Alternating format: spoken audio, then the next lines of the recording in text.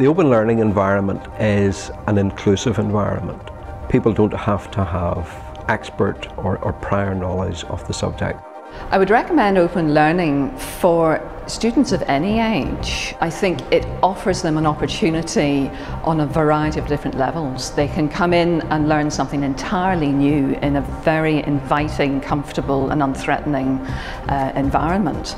The course that I teach is called Playing Shakespeare. It's very much a practical acting course and it's giving students the opportunity to explore Shakespeare, understand Shakespeare as a language, uh, work on a Shakespeare play practically from the point of view of the actor. I'm involved in two main areas in history and that's a, a British history course uh, covering British history from 16th century up to uh, modern times and an American history uh, course covering roughly the, the, same time span. I've been running a series of, of lectures entitled Masterworks. We look in Masterworks at an individual work of art each week and we set it into its historical, political and social context, uh, examining why that particular work of art perhaps has become an iconic one. The thing that I like about um, teaching on this programme is the interaction with the students. I find it very inviting and very rewarding as a tutor and I hope that's what they get out of it too.